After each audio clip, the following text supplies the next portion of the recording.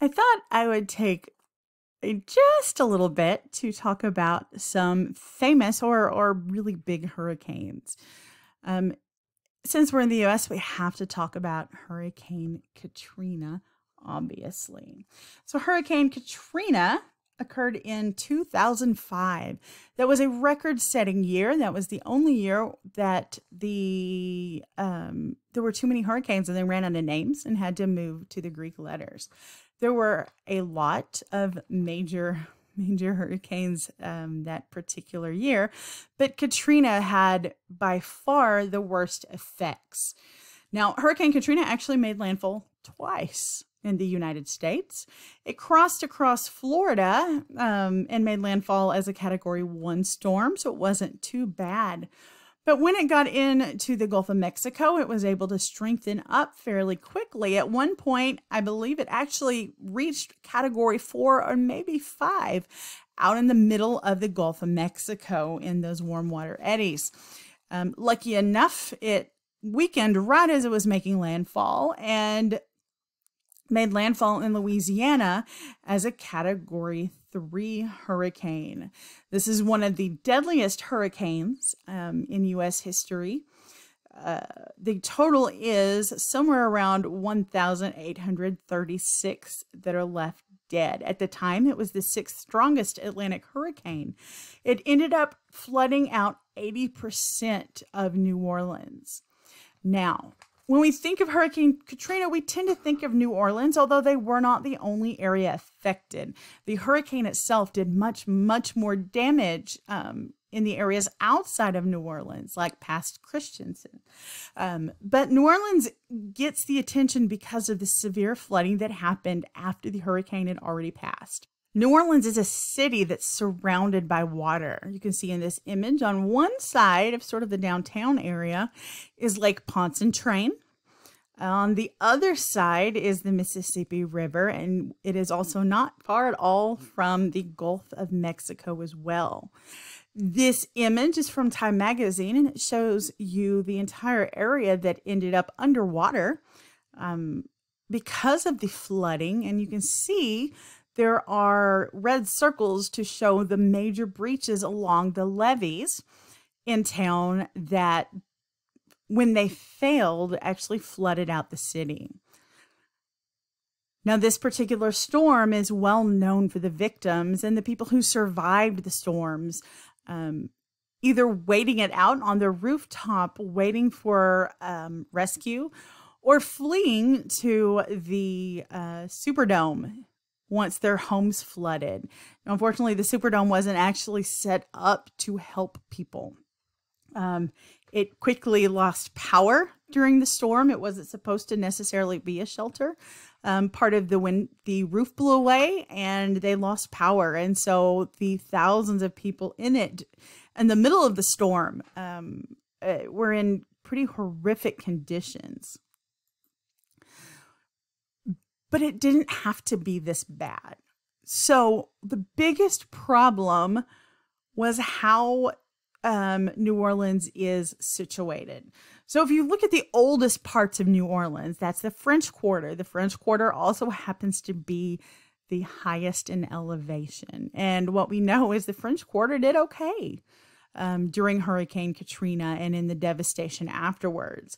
But the places that were affected, this is a topographic profile um, from point A over to point B. So basically from the Mississippi to Lake Pontchartrain. Now, what I want you to notice is that there are levees that are built or a flood wall over here that's built to hold back the Mississippi River. So the surface is a little more than 10 feet above um, above sea level. The Mississippi is higher than that, and the um, the wall built here goes up to 23 feet above sea level. On the other side, you have this flood wall and levee holding back Lake Pontchartrain and the highest point of Lake Pontchartrain is about 10 feet above sea level. But if we look at where sea level is and you see how much of the city of New Orleans is below sea level, let alone below um, the levels of both Lake Pontchartrain and the Mississippi River. So the only thing protecting this entire part of the city, even on a good day, are these levees.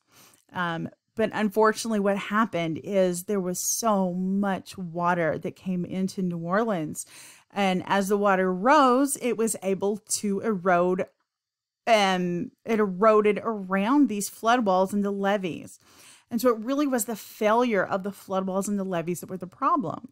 So that erosion actually occurred even under the levees. There was so much water, it actually dug under the levees and just sort of picked them up, and all the water rushed in um, to those low lying areas. And at that point, when you're the lowest area, that water can't leave at all. And so those are the areas that were flooded the worst. Um, so you can see this is an image from the area of where one of those levees was breached. So it's a delicate balance um, between these, you know, natural water features and natural storms that happen and these man-made areas. Those areas below sea level should be swamped, but they have been drained um, to put in more housing. Now, if we sort of think about, you know, who a victim or a survivor, whichever way we want to call them, um, of, of Hurricane Katrina, a lot of times they're very poor and they're black. And one of the reasons why is these areas that they lived were so dangerous because you're poor and you're black have been pushed into these really cheap because they're really dangerous areas. Um, and so it's it's unfortunate that the system set them up that way. And of course, there is also kind of media coverage as well because not everybody um, that was affected by Hurricane Katrina fits that profile, obviously, but that's the one that we've saw the most of. And so that's the the image that's kind of imprinted on us as a society now. Um, but these areas are super cheap because it's dangerous. So the land sells really cheap. They were drained so that homes could go in there. And at this point, um, New Orleans isn't much better off than they were um, because they just sort of, you know, once the water was gone, they built new levees it, except it's sinking. That area is sinking fairly quickly thanks to uh, a, a number of different issues. But now the levees are pretty much back in the condition they were prior to Hurricane Katrina, which which is quite unfortunate. Now, of course, Katrina is the one of the costliest um, of the hurricanes in the United States and one of the deadliest. But I think it's worth mentioning a few other big storms um, for instance, Hurricane Andrew. So, as I've mentioned before, there are only four Category 5 hurricanes to make landfall as a Category 5 um, in the United States. The first one on record was the Labor Day hurricane of 1935, and I mentioned the World War I vets that were affected by that one. The second one was Hurricane Camille in 1969. The third one, and um, what stood as the third, you know, the only other one for a very long time was Hurricane Andrew that hit um, Florida in 1992.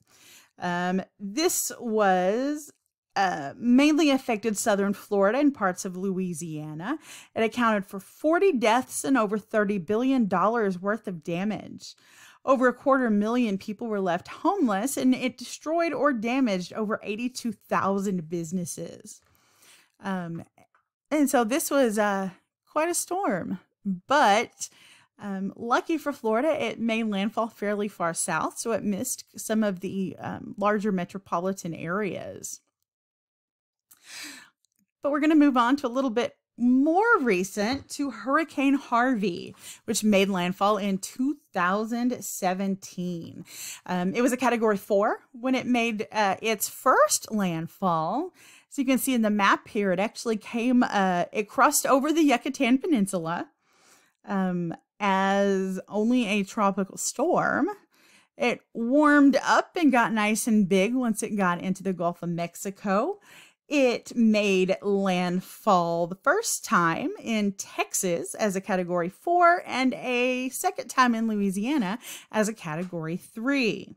So Texas and Louisiana was the most were the most impacted by this particular storm and and for the most part we think of Houston, Texas as sort of where this storm had the biggest effect. Although you can see this image, this is Port Arthur, um, all flooded out. And notice that's after it's passed so that's the water that is still there.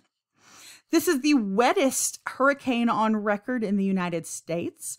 Um, if you sort of look at the places that it crossed, they averaged about 40 inches of rainfall, which is a lot. That's as much as a lot of these areas get in a whole year. Um, but in Nederland, Texas, they actually peaked out at about 60 inches of rain from the uh, from the storm but that's mostly because the storm kind of slowed down right there. So it had a lot more time to dump a lot more water while it was stuck there. Um, let's see. It is tied for Katrina for the costliest U.S. hurricane, um, with cost of somewhere around 125 billion dollars in damages. Interestingly enough, though, and and the one of the one of the people who got a lot of attention in the aftermath was Houston Texans defensive lineman J.J. Watt. He's a he's well liked in Houston. Um, he created a uh, fundraiser in which they raised over $37 million.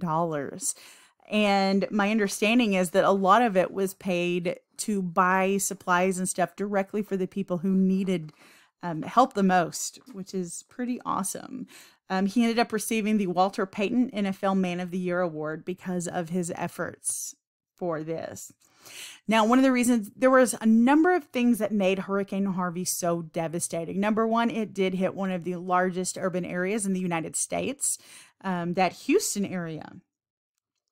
But it's also a fairly quickly growing area, and urban and suburban development have caused loss of wetland areas recently through the last few decades in this area. And those wetlands play an important part of kind of absorbing the water from hurricanes. But once you build buildings and homes and streets and Walmart parking lots and cover those wetlands with concrete, the water's got nowhere to go.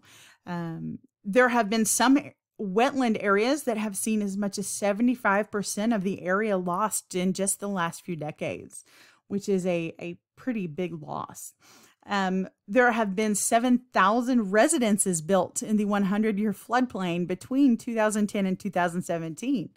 Um, and the aftermath of Harvey also really questioned how good those FEMA maps are because there were a lot of places that flooded out pretty severely that were not included in those um, flood maps. And so, kind of understanding how those flood maps are created and um, who benefits from them not showing areas in a floodplain um, actually really called into question. And I think there's still kind of some some lasting effects of that at this point. Um, at this point, they were having unseasonably warm water off the Houston coast. So for this time of year, it was too it was warmer than normal.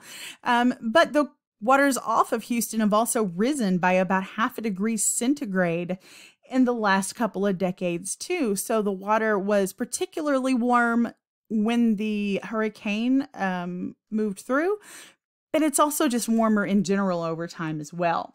One other major feature is because is um, subsidence, and we'll talk about subsidence in this course as well.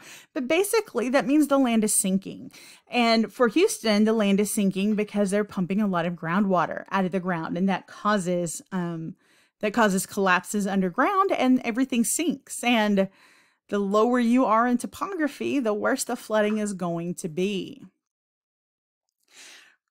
Hurricane Irma happened in 2017 as well. This was a particularly nasty um, hurricane season. There's a really interesting picture here. This doesn't happen too very often, but on September 17th of 2017, there were three active hurricanes caught in one image here.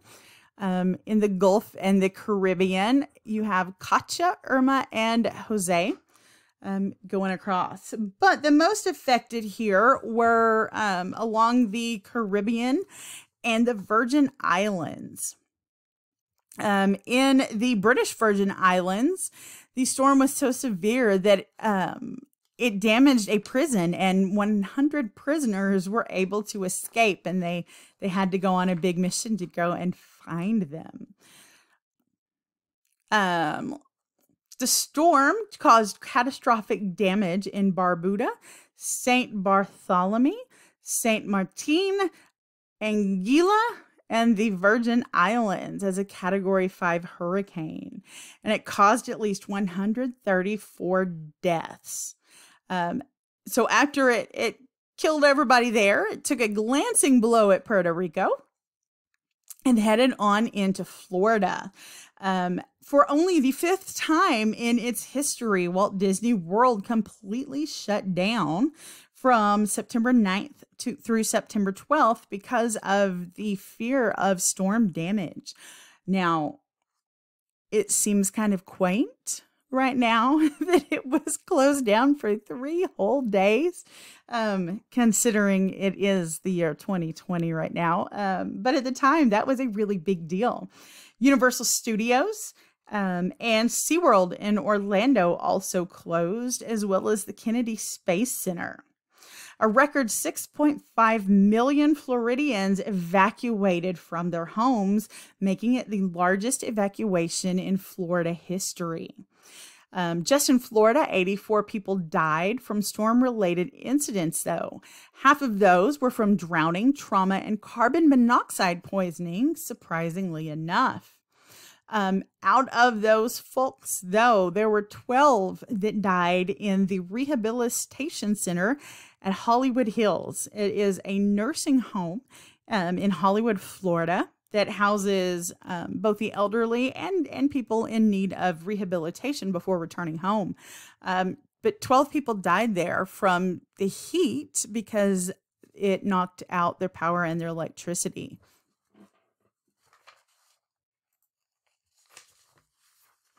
Now, one of the things that was sort of interesting is just how big Hurricane Irma was. Um, this picture here actually is comparing Hurricane Irma when it was out, um, kind of passing um, Puerto Rico and um, the Dominican Republic and Haiti, compared to the size of Hurricane Andrew, that was a Category 5 storm that hit Florida. And you can see Irma wasn't quite as um, well, it did. It didn't hit Florida as a Category Five, but it did while it was further south. But you can see the storm here is much, much bigger. Now, we are not done with 2017 yet. Next, you had Hurricane Maria. Now, Hurricane Maria was a Category 5 hurricane that devastated Dominica, St. Croix, and Puerto Rico. Um, this happened in September. And Maria is regarded as the worst natural disaster in recorded history to affect the islands. Out of everywhere, it was probably Puerto Rico that took the brunt of this storm. Initially, the death toll for Puerto Rico was listed as 64 people killed during the hurricane. Almost a year after the hurricane, though, Puerto Rico, the Puerto Rican government asked researchers at George Washington University to look at their death rate. And what they found was um, they, they counted up the excess mortality attributed to Maria, both in both direct and indirect fatalities. Now, one of the hard parts for Puerto Rico is they had already been hit by Hurricane Irma two weeks prior and 80,000 people were still without power when Maria hit them. FEMA's Caribbean Distribution Center warehouse um, was its only emergency stockpile in the island at the time um, and located in Puerto Rico. But, uh, but um, they did not have many of the of their items left because most of it had already been deployed for relief um, post Irma, specifically to the U.S. Virgin Islands. And so the Maria actually came quick enough after her uh, after Hurricane Irma that they weren't able to restock the supplies. Two weeks after Hurricane Irma hit St. Thomas and St. John as a Category 5 hurricane, Hurricane Maria's weaker outer eye wall was reported to have crossed St. Croix while the hurricane was at Category 5 intensity.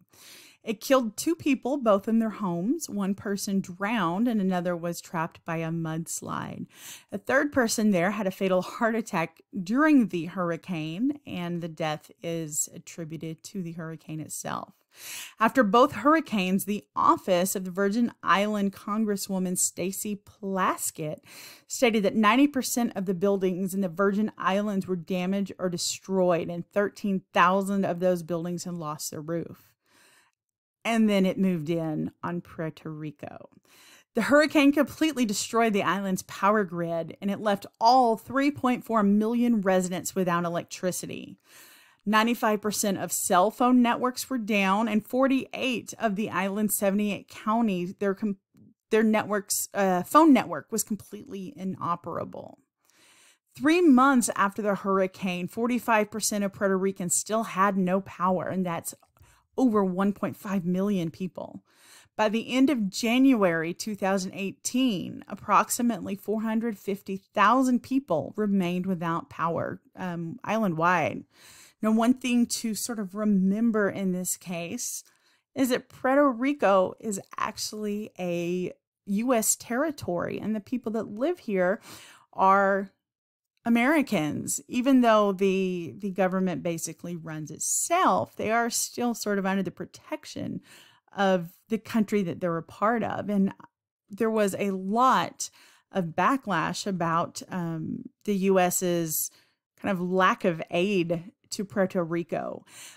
But because so many people were left without power for so long, that causes a lot of problems to go months and months without any electricity. So that's why um, the leaders there asked the George Washington University to look at their death toll. And what they found is the direct fatalities were around 64 people. In the, um, but if you look afterwards and the after effects, and that's from not being able to get medication, from being uh, from the heat, from exposure, from the lack of water, um, from depression and PTSD after so many storms, from suicides that happened by being um, so beaten down during this um, during this time, that the death toll went from 64 to an estimated 2,975 people killed in Puerto Rico. That makes it the second deadliest natural disaster in United States history.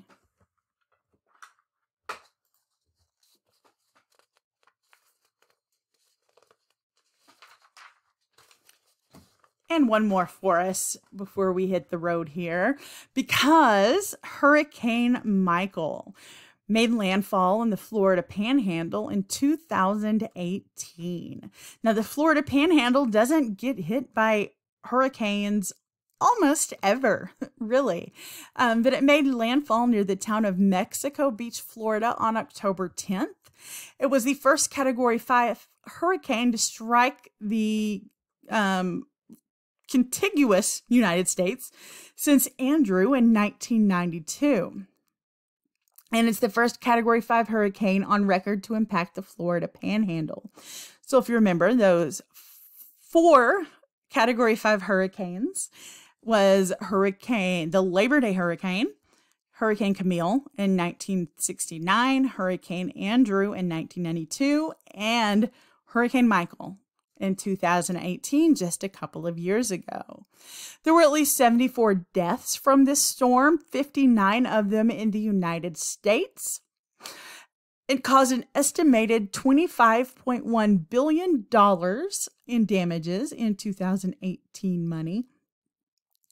Um, one of the areas where a lot of that damage occurred was Tyndall Air Force Base, where um, damage to U.S. fighter jets had a replacement cost of $6 billion. Um, there was a McDonnell Douglas F 15 Eagle and a General Dynamics F 16 Fighting Falcon on display, both of which were flipped over during the storm and pretty badly damaged. There were 17 Lockheed Martin F 22 Raptors that were on base when Hurricane Michael hit. Those were relatively unscathed, luckily enough, and they were brought up to airworthy condition when only a few days. A maximum gust of 139 miles per hour was measured at Tyndall Air Force Base before the sensors failed completely. so, um, it is likely to have honestly been much worse than that. The combination of Michael's storm surge and the high tide happening at the exact same time submerged normally dry areas under 9 to 14 feet of water along the coast between the Air Force Base and Port St. Joe, Florida. The image you see here is from Mexico Beach, Florida. This is basically where it made landfall and had some of the highest devastation. And if you look closely, you can see a yellow arrow at the top of the image pointing to the same location. And so pretty much every single home you see here in the image was destroyed. I'm going to backtrack just a little bit to Galveston, Texas. Galveston hit was hit by a hurricane in the year 1900. Often this is referred to as the Great Galveston Hurricane, but at the time they tended to just call it the Great Galveston Flood. Um, city leaders did not really want to acknowledge that there was a hurricane because those are scary and dangerous. So they really did just refer to it as a flood to downplay the severity of the storm. Um, because they didn't want to scare people and investors with money away. This storm goes down in history as the deadliest hurricane in U.S. history, um, as well as actually the deadliest natural disaster to ever strike the United States. There were officially 3,406 dead. Most of that, though, was from recovered bodies. There are estimates of eight to 10,000 possibly dead because of this storm. Made landfall as a category four, so it wasn't even as strong as it possibly could have been. One of the problems is their local meteorologist really downplayed how um, vulnerable Galveston really is to hurricanes. The slope um, the offshore slope coming up to Galveston is actually fairly gentle. Um, and that leads to a lot higher storm surge. And so people were not ready for this to happen. Um, the entire island of Galveston is about nine miles long and about one mile wide. It's basically a sandbar that sort of got big enough to put a town on. In 1900, it was one of the largest economic centers between the Mississippi and um, San Francisco. It was a bustling town, um, major port area coming into Houston and Texas too. But the storm left it completely devastated. What ended up happening is the storm surge um, destroyed like one block of town and then kept pushing all those buildings and took out the next one and pushed those and took out the next row of buildings, leaving very, very few things unscathed. You can see here, this is an image of some of the damage in the aftermath. This is a map that was created um, to show just how much was destroyed. If you look here, you can see the Gulf of Mexico is on the bottom of the map here. So we're looking sort of at the south side. And the north side of Galveston Bay is facing um, mainland Texas and kind of up into Texas City and Houston. And you can see the crosshatch stuff in the middle here. These buildings right here were completely destroyed and the rest of them were severely damaged. It left almost nothing. You can see in the picture um, going towards the beach in the, the background of this image, everything from 12th Street to First, First Street is just completely gone. Now, one of the hard parts about this storm is there were a lot of people that were killed. I mentioned there were some, somewhere over 3,400 bodies recovered, and a lot of them were caught inside this debris. And so somebody had to go dig them out and do something with the bodies.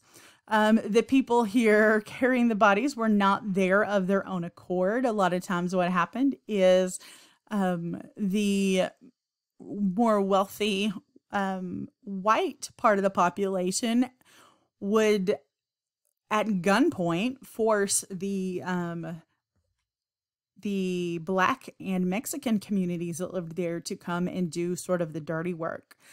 Um, they were lucky enough to get lots and lots of booze, and so what they did is, as they as they collected the bodies, they put them on boats, and they took them out and weighted them down and gave them a uh, burial at sea. Except apparently, it's very hard to tie a weight to a body if you're really, really drunk. And a lot of the bodies wash back up onto shore, so they had to try again. And this time, um, instead of burying them at sea, because at this point there was there was no mortuaries, no uh, nothing, nowhere to put the bodies on land in Galveston. What they ended up doing was um, piling it up and setting fire to them. Unfortunately, the um, the story goes that you could actually see these piles um, and the fire and the smoke all the way from the mainland in Texas. There were a few places that did survive. One of the famous images here is the Bishop's Palace. You can um, see it in the picture on the left, and this picture on the right is a mostly modern day image, at least from the last 20 years or so, of this exact same um, location. And so you can visit, they'll take you on tours through it. It's a, it's a beautiful, amazing place. Um, but it has been named as one of the most important Victorian buildings in America, which is uh, kind of cool. You can see all of the all of this metalwork outside is actually wrought iron, and um, it is not surviving the Texas coast very well at this point. So, what this people of Galveston decided to do was two major engineering projects. The first one was raise the whole damn city. Now, when that hurricane made landfall, the highest point in the city was about nine feet above sea level, and the storm surge was somewhere around 12 feet, at least when they got started. And so by the time the that the storm had passed, there was literally nothing that hadn't been underwater during the storm. So they decided just to raise the whole town um, by nine to 15 feet. And so they got a bunch of jacks, jacked up the building, then put brick up under it to hold it up, and then they'd fill in with uh, sand under it. And this picture shows a house waiting to be filled in under it. And on the right side of the image, you can see the new level and what Galveston looks like today. The other major project was building a seawall along the coast. Now, the top of the seawall lined up with how high they were raising the town. So you can see in this picture on the left, um, the right side is the one facing the ocean, and the left side is facing town. Once they were done with the raising of the elevation in town, um, the ground surface was actually even with the top of the seawall there to give you some idea about kind of how high it was going up. You'll notice the seawall is curved, and that way, as waves hit the wall, the energy is sort of deflected up and back out into the ocean. On the right is a more recent picture, but not completely recent. But I wanted to give you kind of an idea of scale of this thing. So you can see the people walking around, the giant beach umbrellas. You can see cars up at the top of it. Um, that is not a little wall. and those cars along the top are parked on the edge of what is known as Seawall Boulevard. So you can drive right down the edge of the seawall now if you so choose. Now, both of those were major engineering feats, and they would be completely undoable at this point in history, like in our time, because of how expensive it would be now. There's been talk about doing something similar for those low lying areas in New Orleans, but they just can't justify the cost, particularly because um, the areas that needed the worst are some of the poorest areas, sadly enough. Um, so, but those projects were great for Galveston for a very long time. That was in 1900. Um, and the, the town fared through a handful of pretty good sized um, hurricanes after that, up until Hurricane Ike in 2008. Um, on the left side of this picture is one of the iconic images to come out of this hurricane.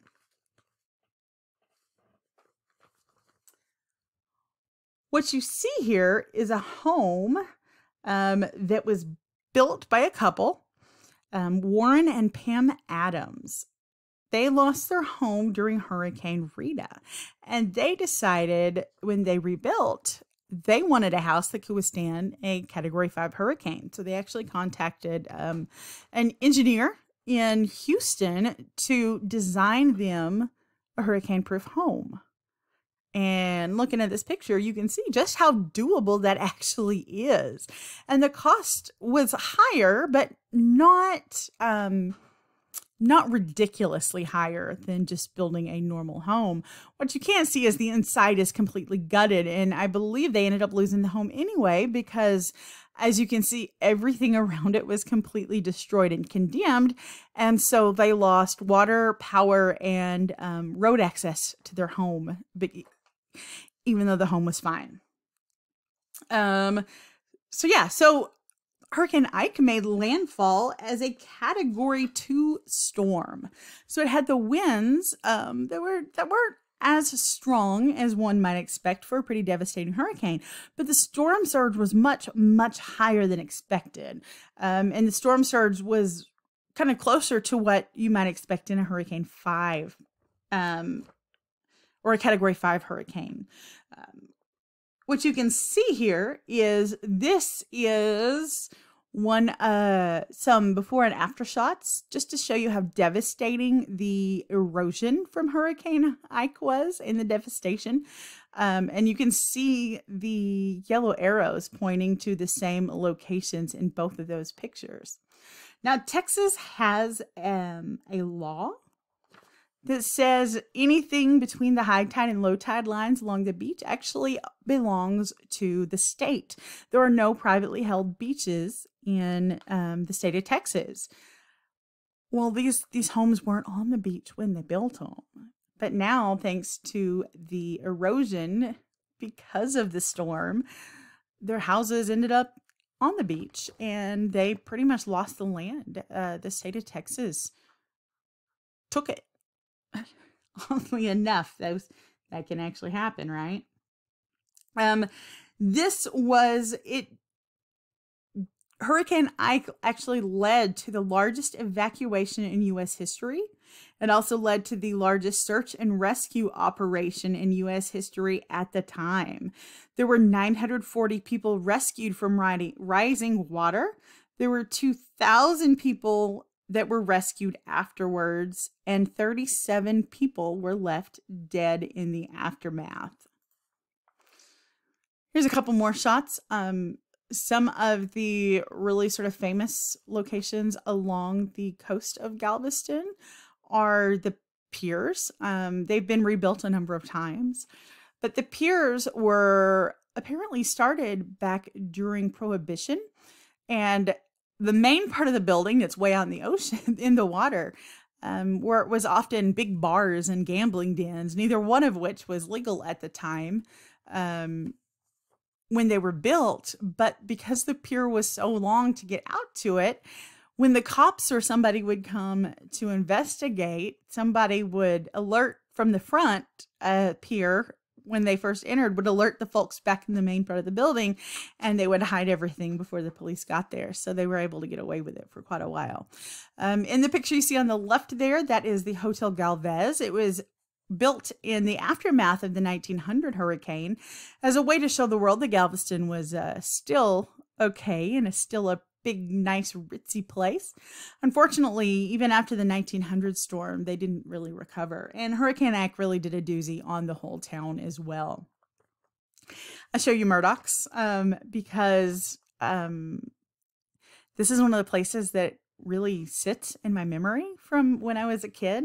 And every time I've ever visited Galveston, we always stop in at Murdoch's to get, you know, some souvenirs or buy some seashells or crap. Um, and it's always always super easy to recognize because of the giant clamshells out on the front walk. So you can see the damage to the building here on the right. Um, pretty much everything just kind of wiped off here and wiped away.